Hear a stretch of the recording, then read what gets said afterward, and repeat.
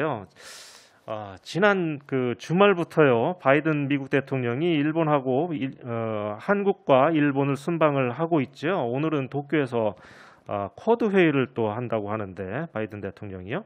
우선 한국에서는 어떤 일이 있었는지 그리고 바이든 대통령이 제가 볼 때 두둑한 선물을 많이 받아가는 그런 느낌이었는데 예 어떻게 된 건지 자세히 좀 알아보겠습니다, 교수님. 그렇죠.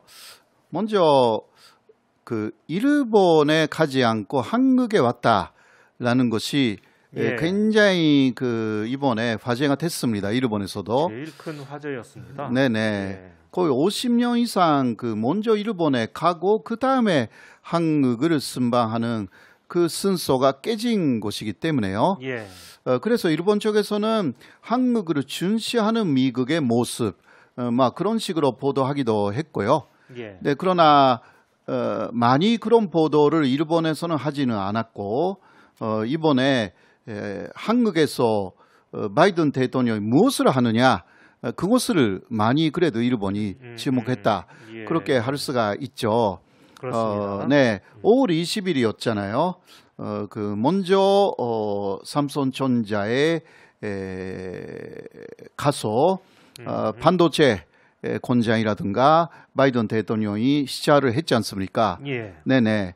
에, 이때 이게 일본 쪽의 뉴스에 다 나온 내용이거든요. 예. 한국에서도 물론 나왔, 어, 나왔지만 일본에서도 상당히 많이 보도를 했습니다. 음, 네, 일본의 보도는 사실 보도를 위주로 하고 있었어요. 예. 그래서 상당히 상세하게 나왔습니다. 예, 뭐 미국 대통령이 한국 기업을 방문했다. 뭐 네네 그런. 이야기 예. 그리고 거기서 어떤 이야기를 했는가라든가 예, 예. 그런 게그 어, 해석을 어, 그렇게 말하지는 않고요. 음. 사실 위주로 그래도 예. 상당히 상세하게 보도를 예. 했어요. 사실 이번 그 바이든 대통령 방안에서 가장 특징적인 게 한 가지는 일본보다 한국을 먼저 방문했다는 거. 네, 네. 그두 번째는 바이든 대통령이 삼성전자를 방문했다는 거. 네. 반도체 공장을 방문했다는 그렇죠. 거. 두 가지가 아닌가 어, 싶습니다. 예. 그리고 뭐 현대자동차도 음. 방문했고 그런 거잖아요. 예. 어, 그 먼저 반도체를 상당히 많이 챙겼다 라는 음. 이야기가 됩니다. 예. 예, 반도체를 통한 글로벌 포괄적 전략 동맹을 어, 한미 동맹이 다시 맺었다. 예. 막 이런 이야기가 일본에서 나왔고요. 그리고 한미 관계가 그냥 군사 동맹이라기보다 이제 경제 안보 동맹이 되었다. 이런 식으로 일본이 더 어, 정확하게 보도를 하고 있습니다. 예. 그리고 경제적 안보가 좌지우지 되지 않도록 어, supply chain 아까 좀 이야기했지만 공급망을 확보하겠다. 이게 미국의 의향이다라는 것입니다. 예. 그리고 공급망 회복력을 강화하겠다. 그러니까 supply chain이 분단되어도 금방 그곳을 회복시킬 수 있는 그만큼의 음. 에, 망을 구축하겠다. 예. 에, 그게 에, 일본하고는 지금 못한다라는 이야기입니다. 사실. 음, 음. 이게 에, 그, 이게 말을 좀 어렵게 써놨지만 네. 이 공급망 확보 또 공급망 회복력 강화 이런 것은 그러니까 이 반도체를 가지고 하는 반도체를 중심으로 아니겠습니까? 예, 예. 어, 하는 이야기고요. 예, 사실. 다른 데서 반도체를 공급을 못 받으면 그것을 한국에서 네네. 보충할 수 있게끔 하겠다 이런 음, 얘기인 네, 거죠. 그런 이야기고요. 어, 그리고 어, 그 한미 정상 간에서 어, 경제 안보 산솔 어, 대화 채널 이것을 구축했다라는 예. 것입니다. 이 부분이 한국에서 이야기했는지는 잘 모르겠고요. 음. 그러니까 경제 안보를 중심으로 하는 어, 전화 통화 채널 예. 이것을 그 상시적으로 아하. 가동시키겠다 예. 이것입니다.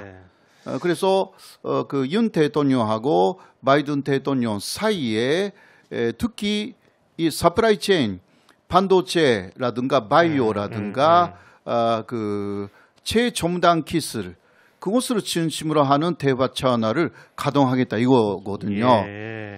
그러니까 한국에 대해서 한미동맹이라고 하면 군사동맹 음. 에, 이게 금방 그 머리에 더 오르는데 에, 이게 에, 경제 안, 안보라는 음. 것이 상당히 그 강화되었다 이렇게 예. 할 수가 있거든요. 이게 듣기에는 좋은데 이게 그 문재인 정권 이제 후반기 들어서 있었던 왜 그 한미 간의 워킹 그룹이라는 게 있었잖아요. 네네. 그래서 그게 그 남북 간 교류를 하려고 하면 항상 이게 이제 발목을 잡아왔다라는 그런 얘기를 들었는데 네, 네. 이게 지금 이제 상설 대, 대화 채널이라는 게 경제 부문에서 또 무슨 우리의 발목을 잡는 게 아닌가 하는 그런 음. 또 우려가 있습니다. 그래서 결국은 그 미국은 예. 그 중국을 어, 견제하기 위해서 한국의 기술이 필요하다. 예. 특히 반도체. 음, 에, 반도체는 그 군사적으로도 대단히 중요한 기술이기 때문에 이것을 확보하겠다 이거잖아요. 예. 그래서 중국 포위망라는 것을 음. 군사적으로 그 다음에 경제 기술적으로도 하겠다. 어, 거기에 한국이 절대적으로 필요하다. 예. 이렇게 나왔던 것이고요.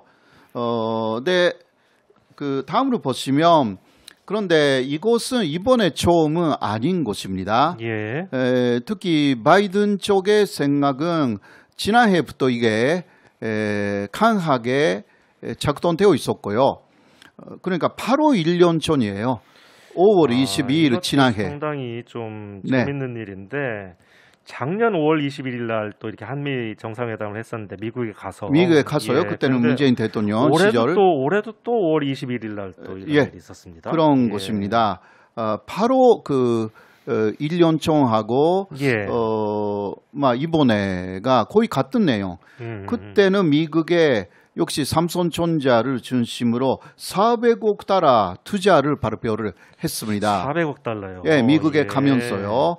역시 중심은 반도체의 음. 공급망 이것을 그 미국 쪽에서 확보하겠다 예. 이런 거였거든요. 그러고 보니까 작년에도 우리가 엄청나게 많이 퍼졌다 막 이런 음, 얘기 네네, 그런 많이 이야기. 들었던 것 같아요. 네, 그때는. 많이 퍼졌다. 예, 그렇죠. 어, 오히려 그 미국에 음, 예. 에, 많이 좀그 음, 이익을 안겨줬다. 보수 신문이 그렇게 보도를 네네. 했습니다. 이번 이번에는 오히려 음. 어, 뭔가 그 한국이 잘했다는 식으로 예, 그렇죠. 보도를 하고 있지만 음. 사실상 내용이 같습니다. 예. 네, 그리고 이러한 맥락은요, 어, 너무 군사적으로만 가면 이게 지금 미국이 요구하는 것은 음. 중국에 대해서 한국도 군사적으로 어, 대립적으로 나가야 된다 이거거든요. 예.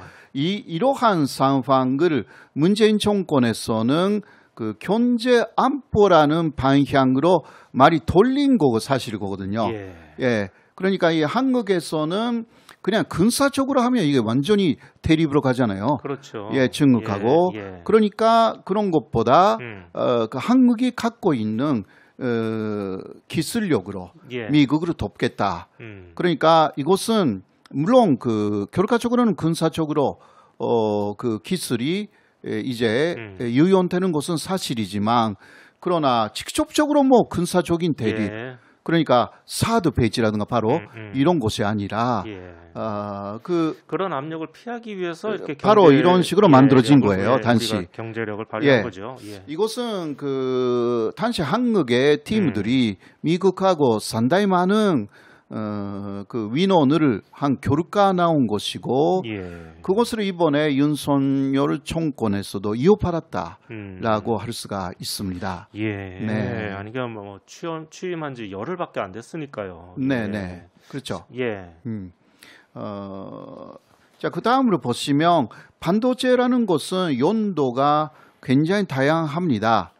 어, 뭐 AI라든가 요새는 뭐 자동차 자율 주행에도 반도체가 필수이고요. 예. 어, 그리고 어, 아래쪽으로 보면 어, 최첨단 반도체 라는 것은 역시 근사 산업의 필수적인 것입니다. 음, 아니 뭐 제가 잘 몰라서 그러는데요. 네. 최첨단 반도체는 일반 반도체하고 많이 다른 겁니까? 음, 뭐 쉽게 말하면 예. 어, 최첨단 반도체라고 하면 엄청나게 작은 거예요. 아, 엄청나게 작은 거. 예. 예. 거기에 엄청난 메모리가 예, 예, 들어가는 어, 그러니까 음. 그 이게 뭐 쉽게 말하면 최첨단 반도체 이것을 만들 수 있는 나라가 예. 사실상 대만하고 한국뿐인 거죠. 음. 네. 음. 예, 이러한 부분이 굉장히 중요한 부분이고요. 예. 자, 예, 먼저 그 대만의 에, 화면을 먼저 보겠습니다. 어, 그 최첨단 반도체라고 지금 이야기했는데요. 그것을 그 만들 수 있는 나라는 사실 타이완, 대만하고 한국뿐이라고 할 수가 있습니다. 음, 예. 그런데 그 최첨단 반도체의 에, 92%는 대만에서 만들어지고 있고 예. 어, 한국은 8% 정도예요. 아. 네, 바로 최첨단 반도체가 여기 나오는군요. 예. 네, 네, 네. 예, 예. 네, 그 전체적인 반도체 를 말하면 66% 예, 정도가 대만에서 음, 생산되고요. 음, 어, 기타 30% 40%는 기타 여러 나라에서 음. 만들어지는데 그러니까 이 대만 반도체가 상당히 대단하네요. 대단하죠. 예. 그런데 문제는 예. 대만이라고 하면 뭔가 지금 문제가 아, 됩니까? 지금 양안 관계가 문제죠. 예, 중국과의 그렇죠. 관계. 예. 예. 예, 그래서 대만을 음. 중국정에서 침공해 버리면 예. 이러한 부분이 음. 미국에서 확보하기 어려워지는 거죠. 아. 그렇다면 아직 8%이지만 예. 이게 발전시키면 미국에 엄청난 이익이 되는 곳은 한국입니다. 예. 네. 예, 이제 한국 반도체는 약간 좀 어떻게 보면 보험용인가요? 예, 그런 이야기가? 예, 되겠죠. 예, 예. 그리고 그 한국 반도체 의 기술이 또 중국 음. 쪽에 가지 않도록 예. 어, 이제 확실하게 예, 막겠다라는 예. 게 미국 쪽의 생각이라고 할 수가 있습니다. 예.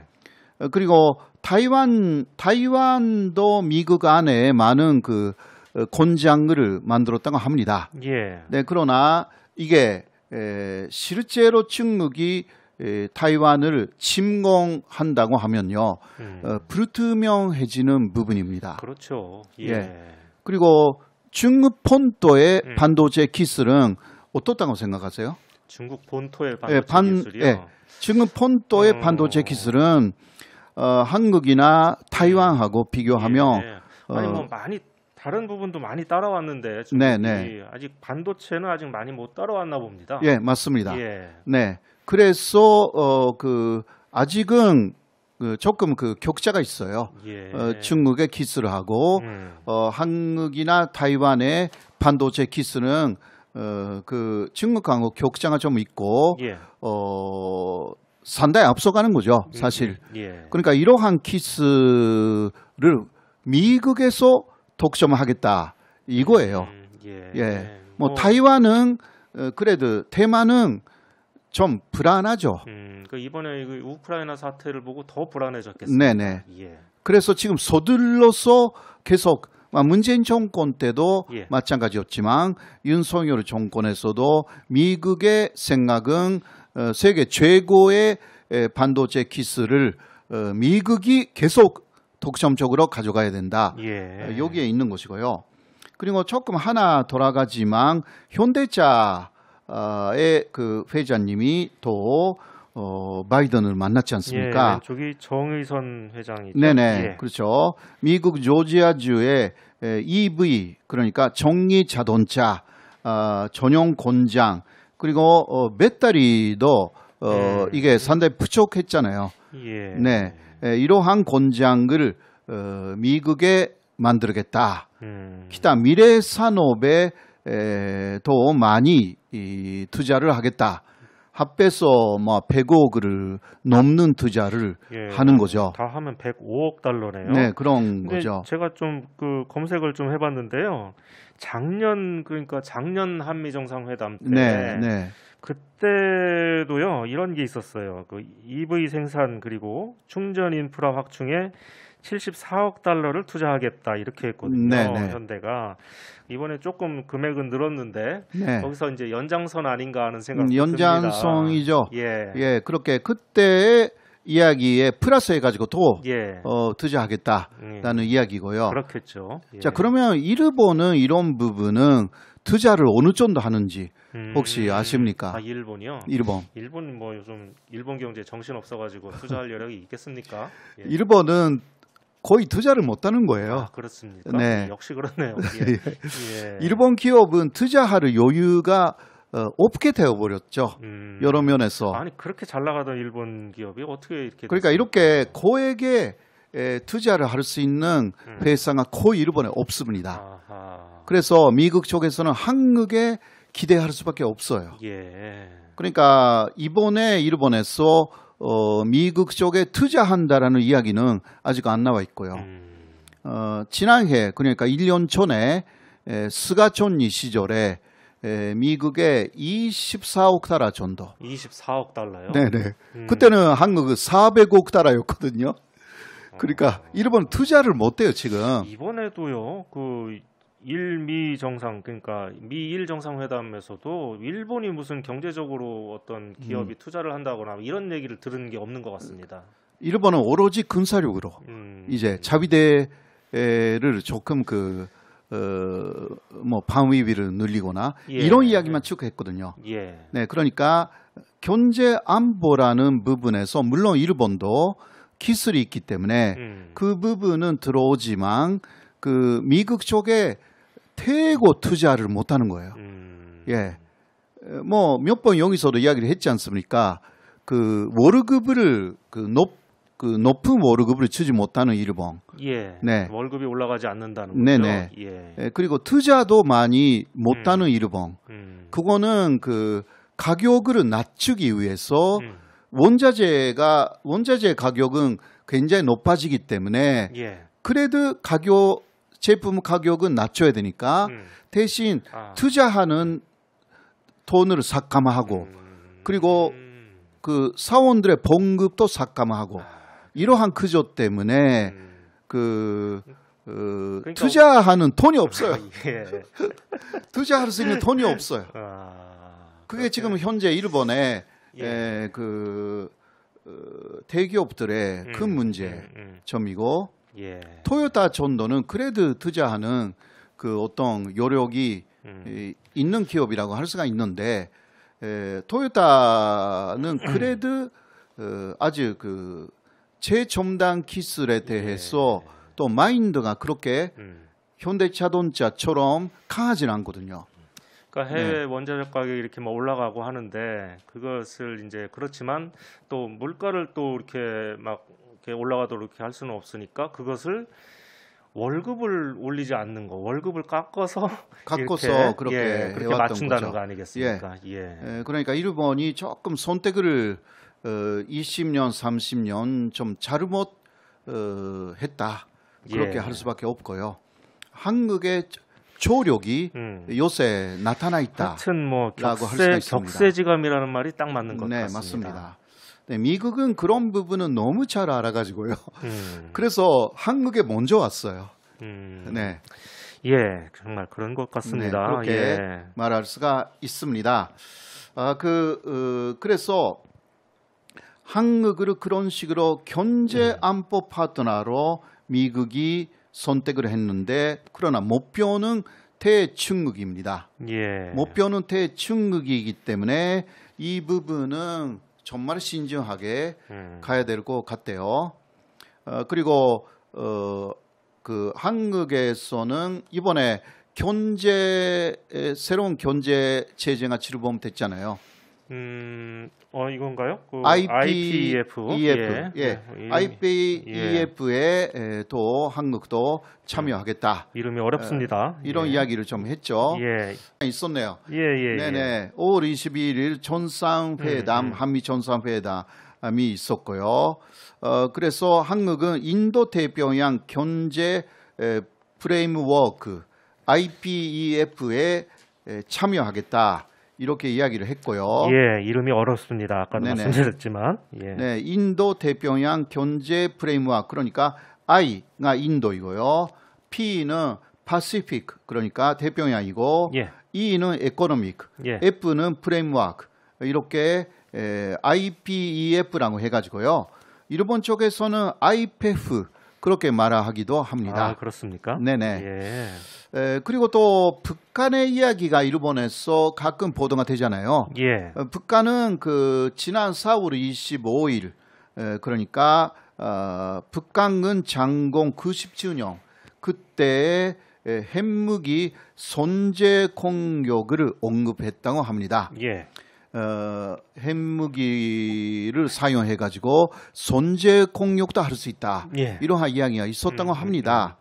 어, 그래서 미국은 어, 한국의 핵을 포함한 확대 옥체라는 것을 제공하겠다. 음. 이번에 한미 정상 회담에서 어, 공동 선면서에 이 내용이 기재됐습니다. 예, 무슨 뭐 기자회견에서 한 얘기가 아니라 아예 네네. 문서로 그게 네, 문서에 예, 예. 포함됐습니다. 눈에 딱 띄는 것은 보니까 핵을 포함한 이 문구인 것 같은데. 그러니까 어, 그런데 북한에 대해서는 비핵화를 더 어, 많이 촉구를 했거든요. 아, 그렇죠. 네.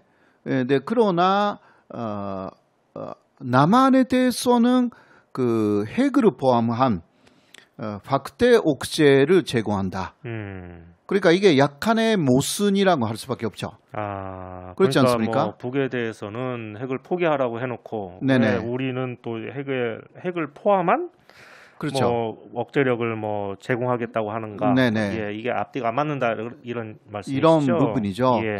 사실 우크라이나 사태 때문에 음. 에, 그 어, 우크라이나를 비핵화했을 때 예. 에, 모든 그 어, 안보를 제공하겠다라고 해서 그렇게 해서 우크라이나가 비핵화를 했지 않습니까? 예. 어, 북한에 대해서도 그런 이야기를 사실상 음. 하고 있는 셈인데 예. 그러나 우크라이나 사태를 보면서 북한은 이제 음. 비핵화라는 생각은 거의 거두었다라고 할 수밖에 없고요. 예. 어, 그래서 현실적으로는 지금 남한에 대해서도 핵을 음. 그 공급하겠다 이러한 이야기가 소소히 나오기 시작하고 있는 것입니다. 음. 현재는 그러한 상황이다라고 예. 할 수가 있습니다. 그 저희가 이거 대선 기간에도 그 지금 현 그 대통령께서 이렇게 핵 공유나 뭐 이런 음. 말씀을 하셔가지고 선제 네, 타격 네. 얘기도 했, 지만 예 그랬었는데 결국 그 이렇게 어 뭔가 이게 저는